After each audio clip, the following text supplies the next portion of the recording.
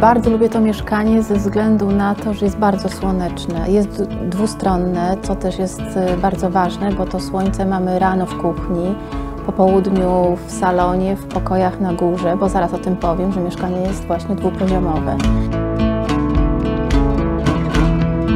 I to słońce, które po prostu towarzyszy nam cały czas od rana do późnego wieczora i nawet w najkrótszy dzień roku, który ma niewiele godzin tych słonecznych, również możemy tutaj mieć bardzo dużo światła. Te budynki są z cegły, są niewysokie, czteropiętrowe, jest dużo zieleni w koło, teren jest zamknięty. Mamy piękne choinki, trawniki, ale nie musimy ich sami kosić i to jest ważne. Jest w środku plac zabaw, bardzo bezpieczny dla dzieci.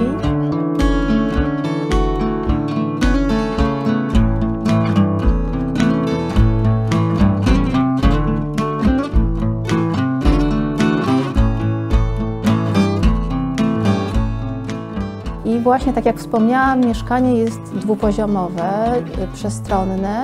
I ten układ, który tutaj jest, bardzo często jak przychodzą pierwszy raz do nas znajomi, są zadziwieni, że tak naprawdę mamy jakby dom w środku miasta, ponieważ ten y, dom, y, to, to mieszkanie sprawia wrażenie domu. I tak, to, I tak to się prezentuje, że czujemy się tak jakby byśmy byli gdzieś w pewien sposób w jakiejś takiej ciszy.